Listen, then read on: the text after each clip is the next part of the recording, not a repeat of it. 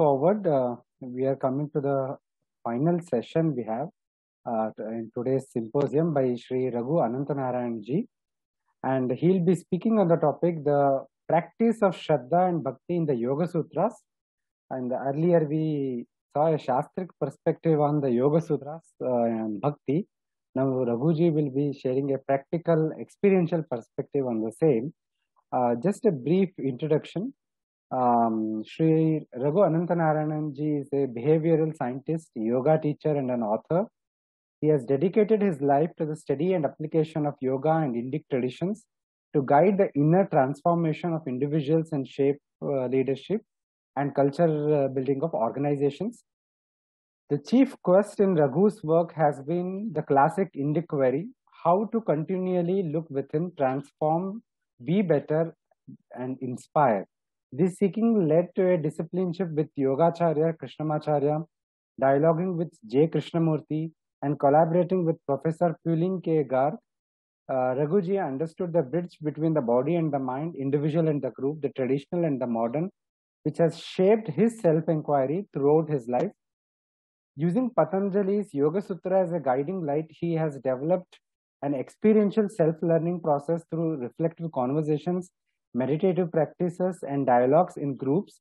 And um, he has combined the you know this process work with knowledge of management systems to develop unique methodologies like the learning theater totally aligned organization as well as the ten, uh, mandala model to guide corporations and cultural organizations and his books include uh, he has written many books. He holds a bachelor's and master's degree in engineering from iit madras. And his books include Learning Through Yoga, The Totally Aligned Organization, Leadership Dharma, Arjuna, The Timeless Metaphor, Antaranga Yoga, The Foundation of Indian Psychology, The Five Seats of Power, and he has co-authored Organizational Development and Alignment, The Tensegrity Mandala.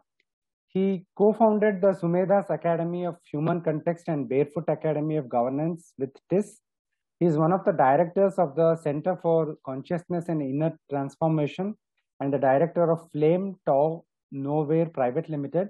And he serves on the board of many organizations. He is actively engaged with building Ritambara Ashram, a collective for inner transformation, as its chief mentor. He lives in Nilgiris, South India. Go ahead, sir. Uh, One small correction, Nitin. He is the co-founder of Center for Consciousness Studies and Inner Transformation. Okay, sorry about that. Yeah. Thank you, thank you, Nitinji. And um, yeah, I'm very happy to be here. I... ॐ योगेन चित्तस्य पदेन वाचां मलं शरीरस्य च वैद्यकेन। योपाकरोत्तं प्रवरं मुनीनां। पतञ्जलिं प्राञ्जलिरानतोऽस्मि। आबाहुपुरुषाकारं शङ्खचक्रासिधारिणं। सहस्रशिरसं श्वेतं प्रणमामि पतञ्जलिं। श्रीमते अनन्ताय नागराजाय नमो नमः। ॐ श्रीकृष्णवागीशयतीश्वराभ्यां सम्प्राप्तचक्राङ्कणभाष्यसारम् श्रीनूत्नरङ्गेन्द्रयतौ समर्पितस्वम् श्रीकृष्णमार्यं गुरुवर्यमीडे विरोधे कार्तिके मासे शतताराकृतोदयम् योगाचार्यं कृष्णमार्यं गुरुवर्यमहं भजे। श्रीगुरुभ्यो नमः।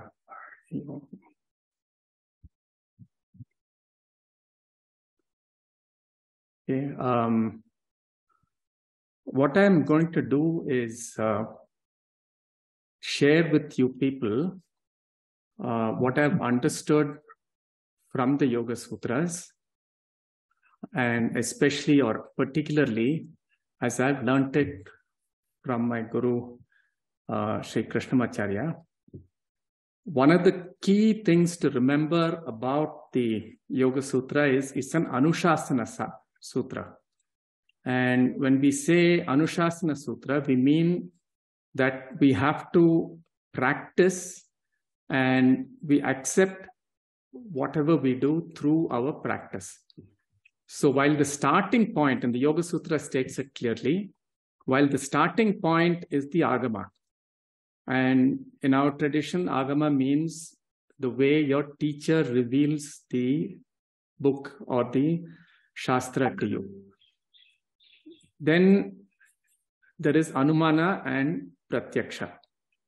Now, one of the key things that Krishnamacharya would repeat is that when, even if I'm listening to Krishnamacharya, he's sitting there in front of me and speaking, what I grasp in my mind may or may not be exactly what is being said. So the truth as I hold it of what is being taught is mine and may not necessarily be that of what is being said because my mind may not have the clarity and the capability to grasp completely. So Anumana and Pratyaksha become very important because I have to then practice. And through my practice, I will have more and more clear glimpses of what is being said. And since the association with the teacher is for a long period of time, one is able to clarify this understanding quite often through one's questions or whatever the teacher also grasps how much has been understood. And then the teacher will really reveal deeper and deeper aspects of the truth.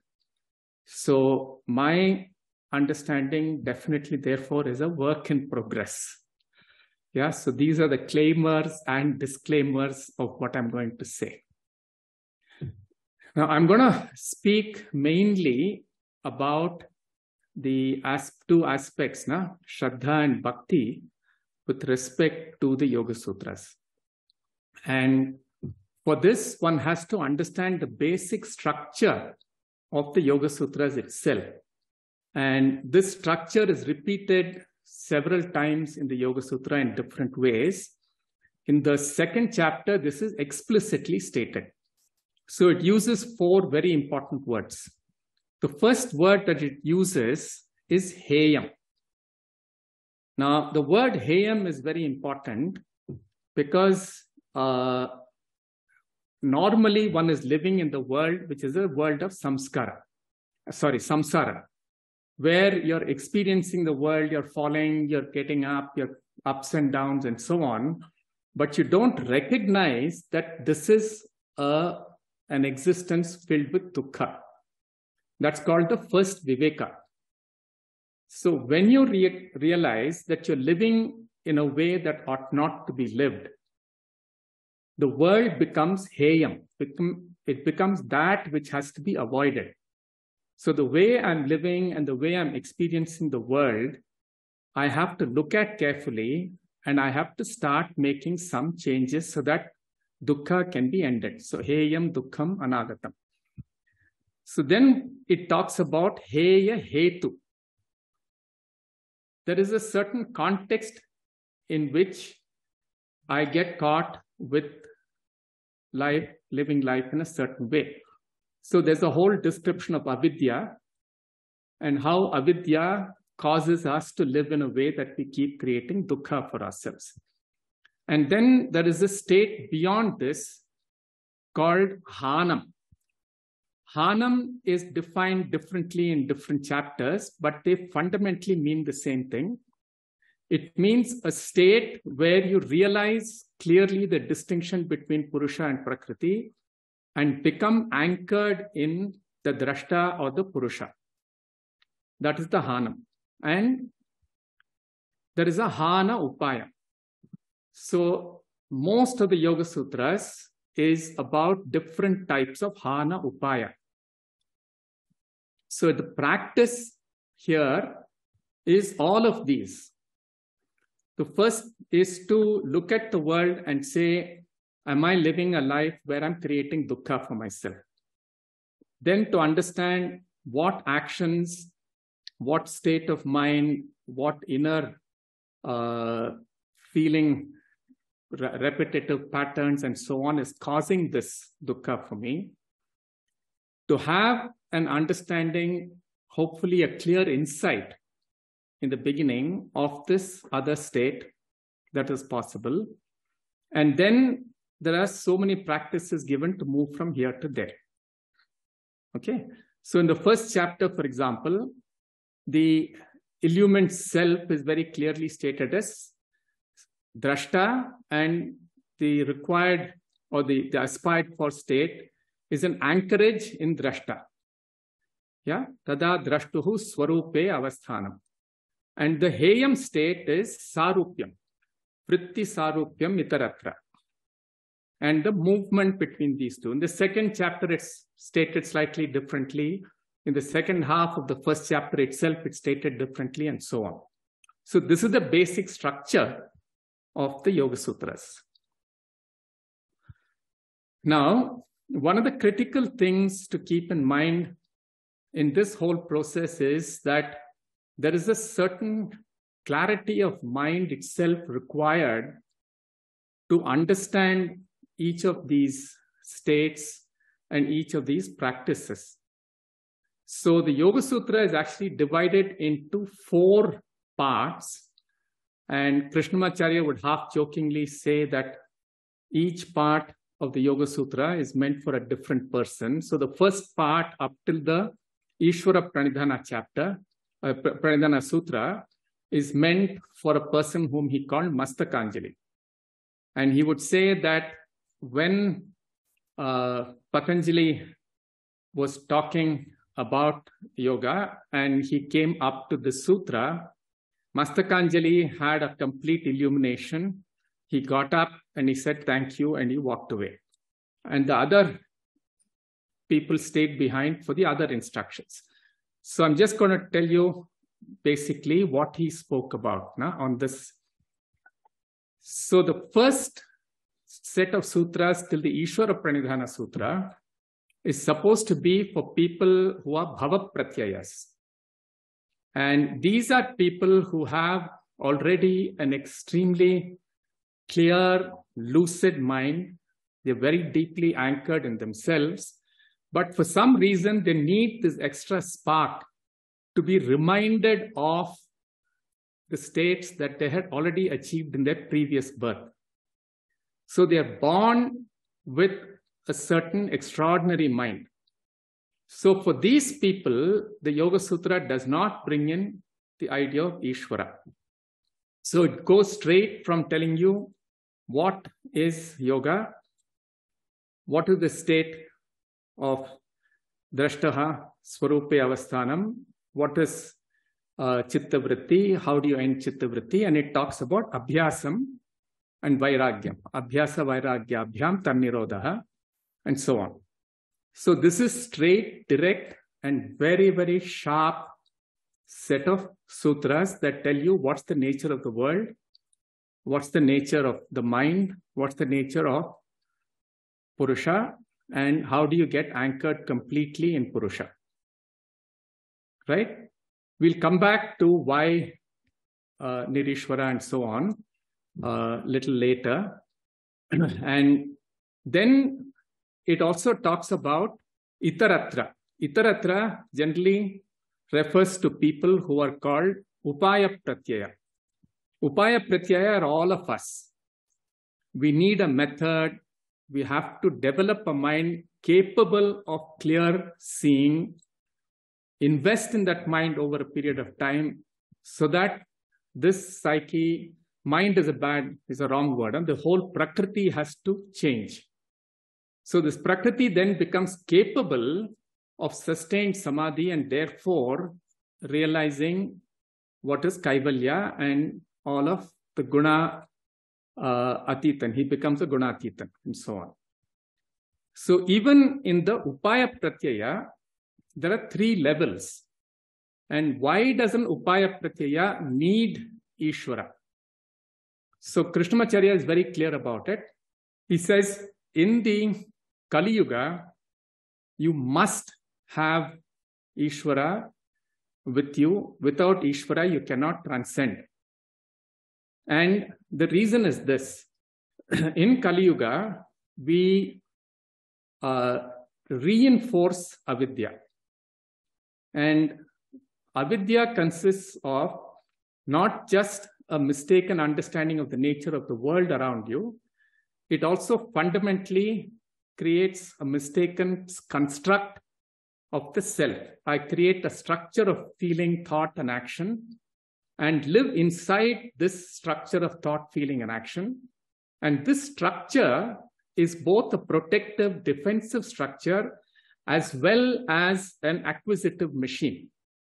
So it goes after things that it thinks is pleasurable, which is raga, and defends itself against things which it thinks it's dvesha. And this structure then becomes filled with an energy called abhinivesha, which is self-protective. This has to uh, live.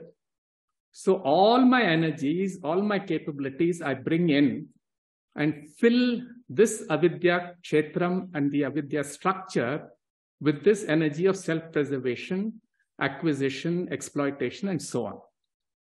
And what then happens is, as we start practicing yoga, we realize that this structure is what is blinding me, both from my reality of who I am and the reality of the world as it is. But when we come to the edge and we really have to dissolve or drop this sense of self, Abhinivesha comes up and captures us. So the only way I can allow this sense of self to drop away is if Ishvara is there to help me. While the first person, the Mastakanjali, did not need it. He saw the structure, he said this is a false structure, he just burnt it off. For others, it becomes at this edge, you get into fear and you really reinforce the old structures again. So Ishvara then becomes an extremely important part of the upaya. Okay. And then there are different levels of upaya that you need. So one description of Ishvara is very similar to Ishvara as Prajna Swarupam. Sa Esha Purveshamapi Guruhu Kalenanavachedat and so on. And when the slightly more advanced sadhaka is told that this is the form of Ishvara, his mind is capable of absorbing this idea, which does not have form, but which is directly a description of consciousness and transcendent states of being. And because he has trust, he has shraddha. Now, English words are very uh, problematic here. He has shraddha in this understanding of Ishvara. He becomes capable of dropping the structures of the mind and therefore becomes capable of nirbija samadhi. Yeah. Now, then there is the person for whom this understanding of Ishvara uh, doesn't evoke because his mind is not capable, his mind is not subtle enough. So, for this person, Ishvara is described as the ground of all being. Yeah. And then this person needs to go through a process of self study. This person needs to go through a more rigorous practice. And for this person, understanding that everything around him is actually a form of Ishvara becomes a very, very critical way of being able to then look at the world differently a way in a way that doesn't create dukkha and slowly dissolve his sense of asmita or sense of self completely. And then you have the person who is even more uh, tamasic in a sense, who needs even deeper practices, even more fundamental practices of how to behave, what is uh, right conduct, in various con- situations, asana, pranayama, good food, and all of this. For this sadhaka, Ishvara is a personal God and a protector. He needs a vigraha. He needs a clear form to be given. And he develops a certain relationship with this form. And through that is able to set aside his asmita. And the more he's able to set aside his asmita, for longer time he's able to set aside his asmita, the inner intelligence and his own svabhava and his own inter, inner intelligence start to manifest. So that is the context in which Shraddha is talked about. We also need to keep in mind that the word yoga in the Yoga Sutra refers both to the path that one is taking as well as the end point. Yeah? So there are a couple of sutras that clearly use the word Shraddha. Now, one of the sutras is Shraddha Virya Smriti Samadhi Prajna Purvaka Itaresham. I mentioned that word Itaresham for you before earlier. So the people who need Upaya Pratyaya need to understand Shraddha Virya. I'll explain all these words to you. Now, Shraddha in this context uh, is towards both the path and the certainty of the end. And Shraddha, Krishnamacharya would describe the easiest way of understanding Shraddha is the way a mother continuously invests in the child, knowing full well that all my investments will lead to the child becoming a beautiful adult, is the quality of Shraddha. So I invest in my practice, I invest in my endpoint, the goal, and I continuously keep the practice because initially an upaya pratyaya is not going to experience the phala of the practice right? And then the sutras also talk about what kind of problems will come up vyadhi sthana samshaya pramada and various things like this. What kind of dukkha daurmanasya it will create. So when these vignas come unless i have this complete shraddha I'm not going to keep on investing. So it's like a child. The child might fall ill. The child will sometimes listen to you. The child will not listen to you, and so on. But you keep on investing in the child. Then virya. Virya is very important because you need a certain courage to walk on this path. Yeah, because initially, when a person makes a commitment, the person does not actually have a clear, insightful idea of the end point. His teacher tells him something inside him says, I have to be on the path. So he gets onto the path. And when you start walking on the path, you have to be able to see what is it in yourself that is causing dukkha. In modern terminology, they call it the shadow sides of the self. So I have to look at my behavioral patterns and go through what is called Karya Vimukti first, and then I have to go through Chitta Vimukti and so on. So Karya Vimukti itself requires a lot of intensity and courage. I have to stop doing certain actions that I know is creating dukkha. I have to invest in actions which I know will lead me to the final end then I have to understand what is the mind that is compulsively going behind this negative. Yeah, so if you remember in the Mahabharata, Krishna reveals himself to Duryodhana.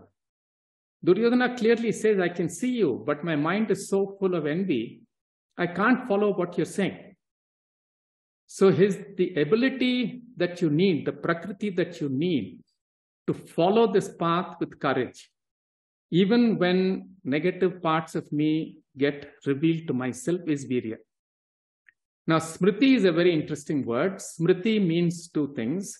One is I have to keep track of my own practice. I have to keep track of what my teacher has said so that I can move on the path. And when I see indicators that I have walked a certain distance and got to a certain goal or phala, I'll be able to recognize it. That is one aspect of Prakriti. So I can build on my practice. I know that I ate this food. This food allowed me to be more sattvic. So I eat that food tomorrow a little more. I do something else which didn't lead me on the right path. I remember that and slowly build a personal practice that lead me on the way. Now, as this smriti is happening and my practice is moving forward, a very interesting phenomenon called smaram happens. Smaram is my memory of the true quality of my being, which is there in the dharam. This gets revealed to me when the structures of the self start becoming thinner and thinner and start dissolving. So, this is what is the real sense and insight of the endpoint. So, this smaram, which comes in flashes, has to become the whole of me and fill me up completely. That is samadhi prajna. So, as my mind becomes more and more subtle, it's capable of looking at reality as is resonating from within me with the reality as is, and therefore gain deeper and deeper and deeper insightful knowledge. Right? Prajna has a very specific meaning in yoga. Prajna in yoga means I'm able to see the movement and the emanation and manifestation of reality from its most subtle form, which is the Mula Prakriti till its manifest form, which is Vishesha, or the world outside, and then going back and dissolving. So that's the whole path. And of course, Shraddha is needed for you to walk through the whole thing. And what you reach finally is in yoga, it's this figure of Anantasayana. So even when we're praying, we pray to Anantaya Nagarajaya Namo Namaha. So this is the form. Yeah. And then one has to go beyond the form to the formless, which is Nirbija Samadhi. The other critical idea in Shraddha is like Nandi, na, Dirgha which means it's not going to happen soon. It's, it's a long time of practice, Nairantarya. You don't stop and start. You don't do something here and then run off to some other practice, run off to some other practice.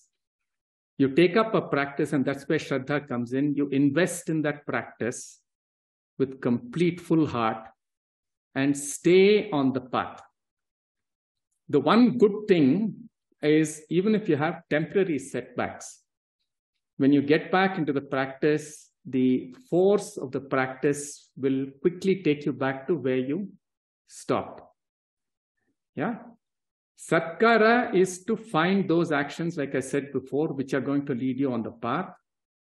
And all of this is done with tremendous respect both to the path and to the endpoint, and in a sense of service. Yeah. So, all of this, when persisted with, is what is going to take you through. The other very important idea in the Yoga Sutra is the idea called Yatha Abhimata Dhyanadva. Now, Abhimatam is also a term that is used because it says all the prakritis are not the same. Certain kinds of understanding of the path, a certain kind of understanding of the Godhead, Ishvara, will resonate with some people in one way, it will resonate with other people in a different way. So choose that path which really fills your heart with preeti for that path, which fills you with love for that path. And follow that path. Yata abhimata dhyanadva. And these are the basic ideas around Shraddha.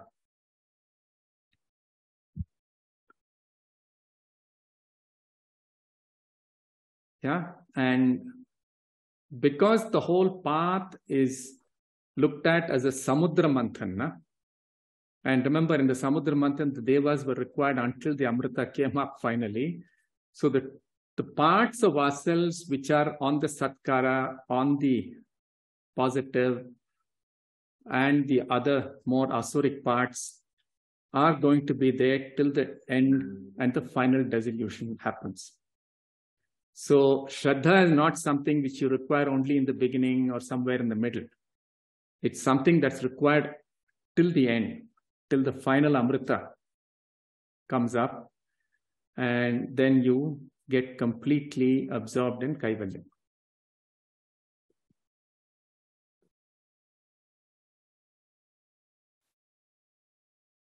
Yes, Nitin. Thank you, Raghuji, yeah, for a wonderful presentation. I can Please stop close- sharing. Please stop sharing. I'm Yeah. just going to stop sharing. Yeah. Yeah. So uh, I think uh, it's a very important and a very practical oriented presentation that how Ishvara Pranidhana, what is actually its role and the way the Shraddha and Bhakti comes in the practice of yoga. And uh, this is a very important insight uh, that uh, you have shared. Uh, um, and uh, I had a question uh, about this, the Uttama Adhikaris that you mentioned in the beginning, that where the pra- Ishwar Pranidhana is not needed is what you said, I, I believe, or uh, See, this is, uh, Nitin, this is a common misunderstanding and a common charcha, Nitin. It's not that Ishvara Pranidhana is not required. It's exactly like some other uh, person was saying, na? This chap who is a Bhava Pratyaya sees Ishvara the moment it's pointed out to him. So why does he need Ishvara Pranidhana? Ah, He does not. mhm. So he goes straight into that. Okay. There's another explanation, no? In Sankhya itself, there are three types of Sankhya. One Sankhya that equates Mula Prakriti and Purusha as the foundation. One that says Purusha and Prakriti. And another uh, Sankhya thing that talks about an Ishvara which is beyond these two. Yoga Sutra talks about that Ishvara. Purusha Vishesha Ishvaraha. Yeah. But these are all charcha based things, Nitin. Okay. And Krishnamacharya was very clear. Charcha doesn't lead to practice. You are in Kali Yuga. You need Ishvara. You figure out, yes, he was very clear about it. You figure out whether you're the kind of person who can pray to the tattva itself. Do you need a vigraha? What do you need? And completely dedicate yourself. Okay. But Raghu, uh, my my Yes, my, my issue is you you are quoting this example of Nirishwara and and uh, uh, uh, saying that uh, uh, uh, Ishvara is not required. But even I didn't say that. yes, that is that is how you presented it. No, no, no, no, no. Go, go back slowly, Hari. If you have that kind of mind, which by the first touch of the Guru, or in Shankara's case, whatever that uh, incident he goes through in the river, immediately he sees God. No, but that is the Purva Janma Sukritam. No? That is Exactly. not. That is the So- Bhava Pratyaya, no? So, but means in the previous lifetime they had to go through the uh, the earlier stages. That's what I said, na? So therefore, at any point in time, Ishvara is a sine qua non. It's not. It you cannot. You cannot bypass it. If if not this lifetime, in the previous lifetime. Yeah, yeah, yeah. So that's the bhava pratyaya. Na? How did you get to become a bhava pratyaya? Through a practice, you had that prakriti, you passed away or you suspended. There is another thing in Yoga Sutra of what the bhava pratyaya is. And then you choose to be born. But when you choose to be born, the possibility of an avarana, some kind of covering coming because you've taken this body, you may not immediately see the Ishvara inside you. You may not see the Jiva inside you, for which you require some external trigger, which is in the form of a, of a guru, an enlightened guru or something. And the guru knows where your practice needs to start. What is your prakriti like? So either from sometimes just the sight of the Guru. I know a couple of people who said that I went, I saw this person, immediately I had this enlightened state. The Guru didn't even talk to them. They just looked at this chap straight. They looked at him, and this person had a, a transcendental experience. So basically, that's an outlier. That, what you're saying is an outlier. Right? Those are They outliers. Make, they don't make the rule. So, They so, don't make the rule. So the so the larger is point is Ishvara is a, is a, is a prerequisite uh, in, in Yoga Sutras. It's, that's the point. Yes and no, Hari. I'm not going to let go so easily. I tell you why. No, but I tell you why. No, I tell you why. See, uh, as a yoga teacher, I, I'm telling you the practicalities of it. No, as a yoga teacher, somebody comes to me and says they want to learn yoga, and invariably they'll say back pain, neck pain. That's why I'm coming to you. I teach them something. Back pain is removed, neck pain is removed. They go away. Period. Then there are other people who will come and say, you know, I need to be a little less stressed. X, Y, Z not just back pain, shoulder pain. They're willing to listen to something more, some little more pranayama they learn, little more deeper things they will learn. Once they have made themselves what they think is a better instrument for going and exploiting the world, they'll run away from you. Then there are other people, we ask them, you know, do you have a faith in God? What God do you have faith in? These are people who are generally have much greater depth of understanding of dharma. Okay. See, that's a- live a a- different life.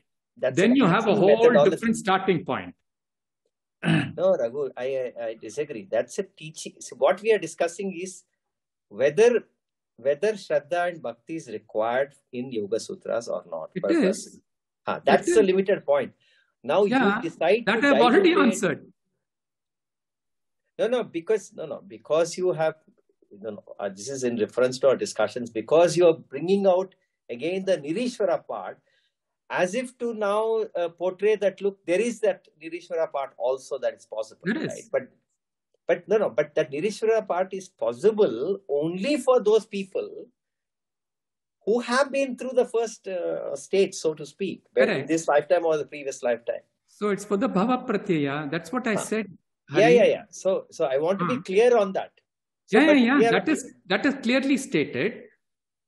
Yeah, the charcha around Yoga Sutra comes because people don't apply this bhava pratyaya rule for the first set of sutras and call it based on Nirishwara Sankhya. And there's a whole dialogue and debate about it. I mean, Nagaraji and all will know, Nitin and Jayaraman will know much more about this charcha than I do because I don't get into this charcha.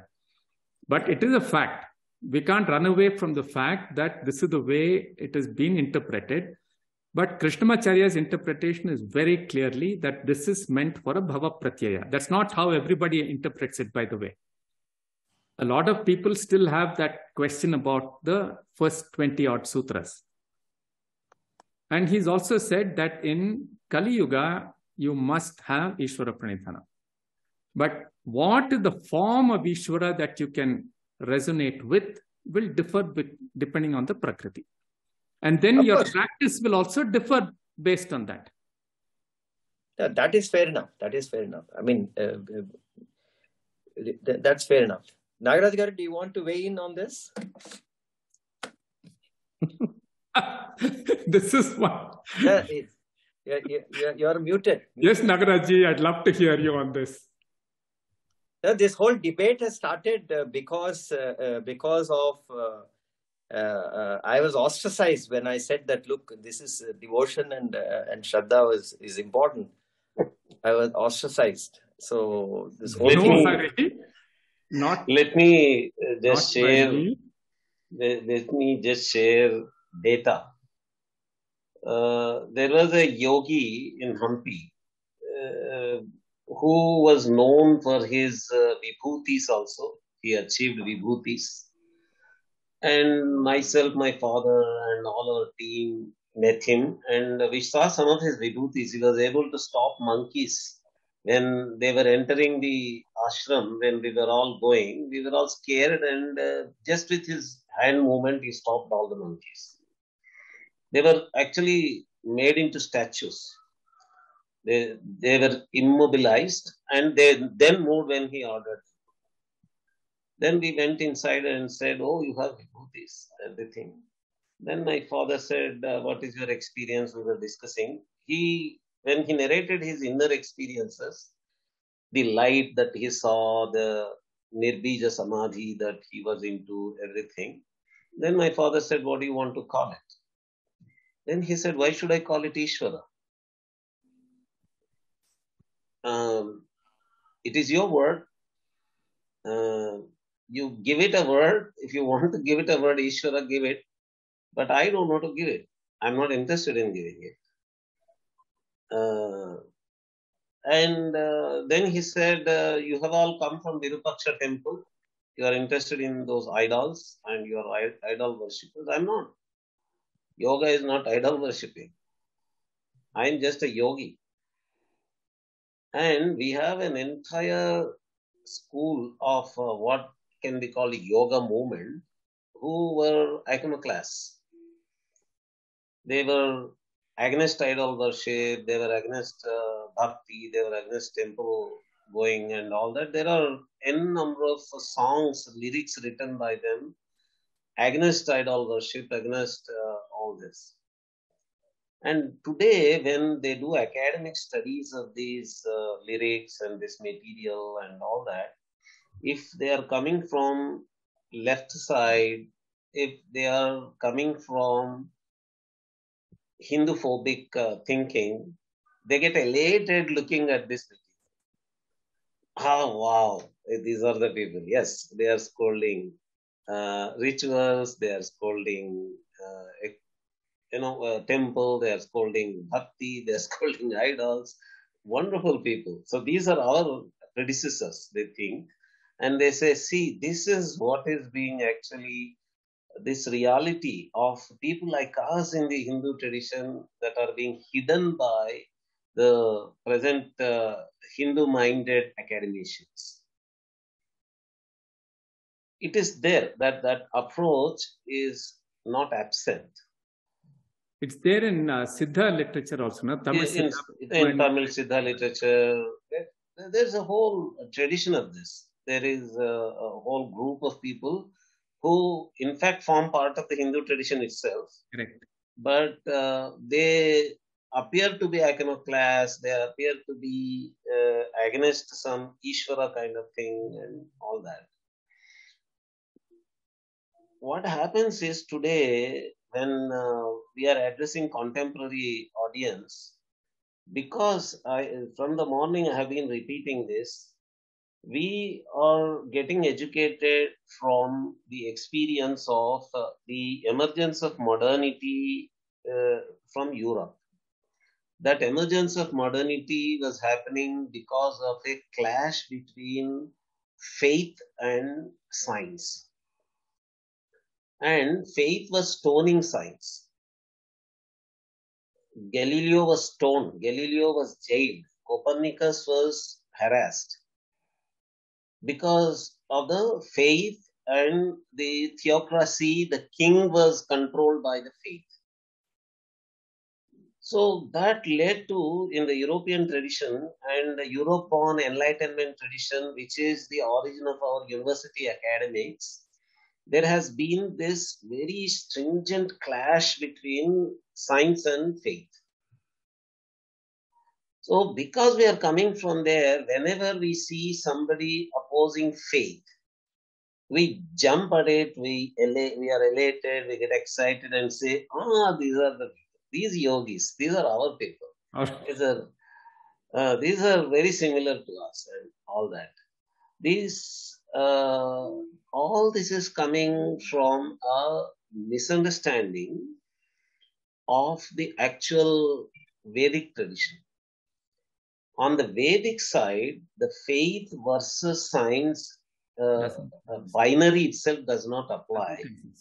Because it, it is the uh, uh, the Shastra scholars like Tulsi Kumar Joshi ji, Jammalamadaka Srinivas uh, Garu, Jammalamadaka Suryanarayana Garu, all the Shastra scholars from the morning repeatedly said that, and Aditi Banerjee's uh, presentation also has the same, that Shraddha is not a blind faith. Correct.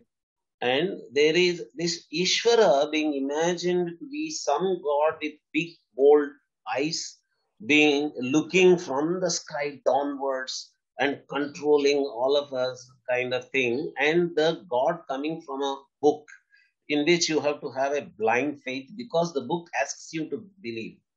No, there is this cyclic, circular logic that you have to believe in that God because the book asks you to believe. Why should you believe in that asking of the book? Because the book is also asking you to believe. Uh, so that circular logic in that God is being unnecessarily getting universalized. And people, when they look at Ishvara, they think that we are talking about that kind of a God. Can I just add something here, Nagaraji? Exactly what you're saying. Na? Krishnamacharya would continuously say, when I'm talking about Ishvara, be very careful about vikalpa about Ishvara and having dharana on the right figures. And he would say, the pictures drawn by Ravi Varma are vikalpa. When you go to a vigraha that is done properly, the mathematics and the proportion of the vigraha is what is impacting you. Take that in. That is what will protect you. So any, you have to be careful about the choice also. So he would clearly say, don't go for vikalpa.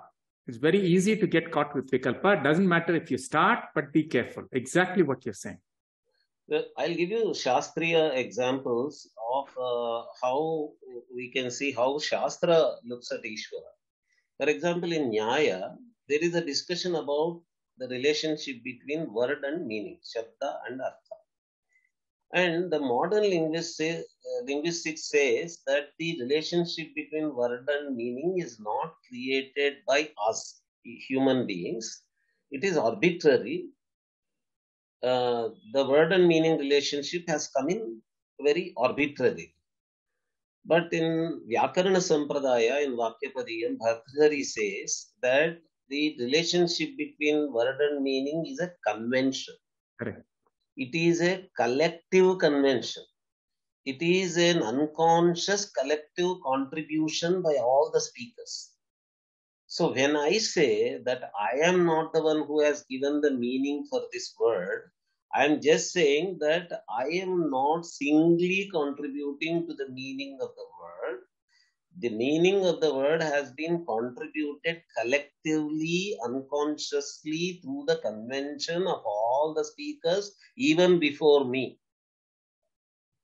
So this collective uh, unconscious contribution by the speakers apart from me from the previous generations also if all this together is given a name that is ishvara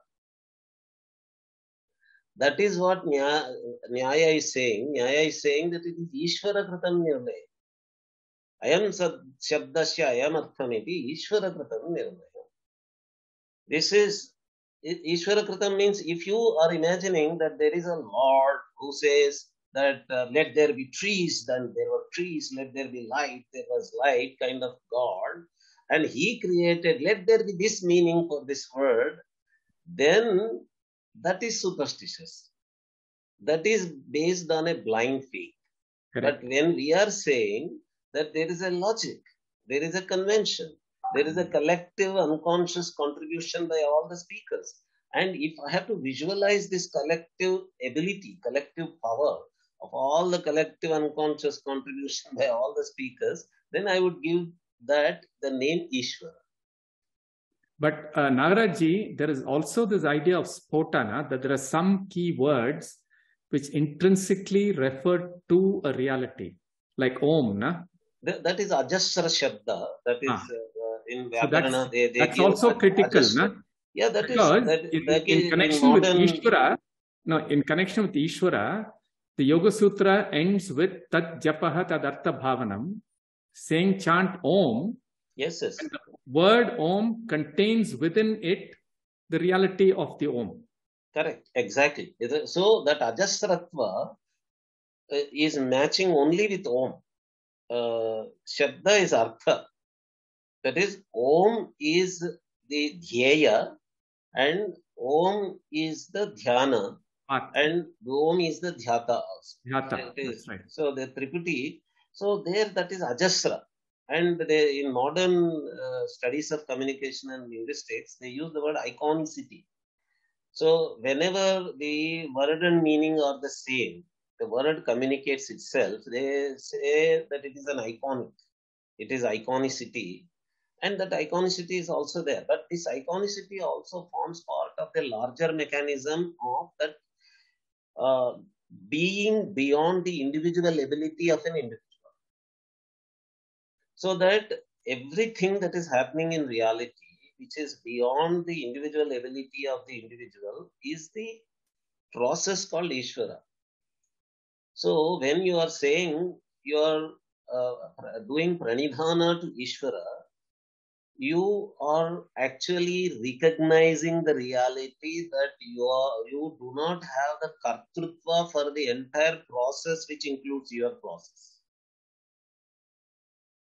there is a larger process in which you are part and the recognition that you are just part of that whole process is the pranidhana.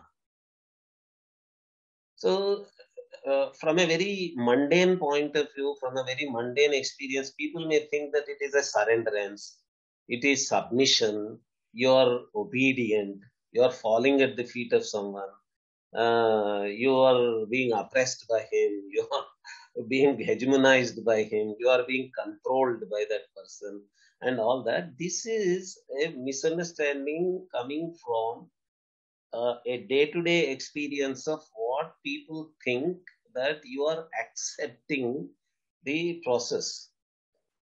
Actually, when Yoga Sutras say that uh, you, are able to understand the language of birds if you actually uh, empathize with the birds as one of the vibhutis.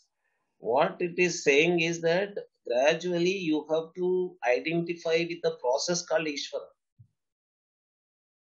so that uh, when you are doing more and more empathy with greater and greater empathy what you are doing is you are getting absorbed that absorption is pranidhana Yeah. Sahridayatva of that, na?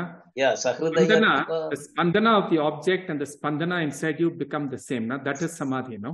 that is samadhi that is pranidhana also That is pranidhana. that is Ishvara also pranidhana. and Ishvara this thing around pranidhana is samadhi only Yeah, Ishvara pranidhana is samadhi in the concept of sarvam khalvidam brahma. sarvam khalvidam brahman That's what I said, no? that Hiranya Garbha thing. That's very difficult also, na, Nagaraji? Hmm, A hmm. normal person, that Hiranya Garbha is manifest everywhere is a very superior idea, no? So the spandana happens usually with some vigraha which they feel very close to, and so on. So that becomes the starting point. That's what Krishnamacharya is saying. And there he is warning us, saying, don't take this uh, uh, calendar heart to be your representation. Go to your Kuladevam, go to your particular god or goddess. Make sure that Vigraha is sculpted properly. in organizational behavior in in, an, in a com- company management in co- corporate behavior in organizational behavior if you tell an employee that if he keeps owning ownership for every activity which is a collective process of the whole company he will be unnecessarily sued for every activity of the company Correct? so for him to be safe, it is always safe to disown. Own only to the extent that he is responsible. Then this process of owning only to the extent the, to which he is responsible is what is called as Ishvara Pranidhana. The company's collective process is Ishvara. And he is just allowing himself to be just part of it. That is a very clever and political, diplomatic way of escaping from getting sued. it's a beautiful idea, Nagaraji. so, so if the Danavas do something, I don't have to be responsible for it. Yeah, see, there, there is there is everything happening from all other employees of the company. Why should I say I'm doing everything? I, I, I, can say that I just surrendered to the whole process of the company. I'm just part of it. I'm doing whatever bit I'm responsible for. Please don't sue me for everything that happens in the company. That's that's a nice way of looking. That is a surrender. That is pranidhana. That is Ishvara pranidhana. So with this analogy, we can say that the company called Cosmos this is a cosmic company. It is a huge company that is running. And if that company is being run by itself, that self running by the cosmos as a company can make it Parama Atman. That is Parama Atman. But if you look at that agency which is running the whole cosmic company, company called Cosmos, that is called Ishvara even if the MD or the CEO or the chief director of the company unnecessarily owns up responsibility for anything, he unnecessarily gets sued for it. So it is better, it is safe for the even the MD to say that the entity called company is doing the whole thing. I'm responsible only to the extent that I'm responsible on paper. That is Ishvara Pranidhana.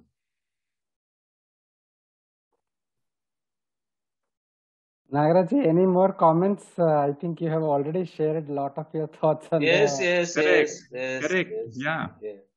So, uh, and uh, most of the things uh, that I wanted to say were covered by Aditi ji also. So, I think you can move on to uh, uh, your vote of thanks and conclude. Okay.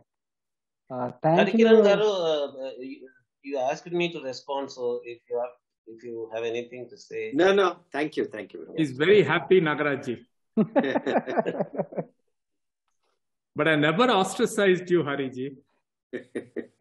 I was subtly giving the same point. Thank you, Raghuji, uh, for the wonderful presentation, a very nuanced presentation.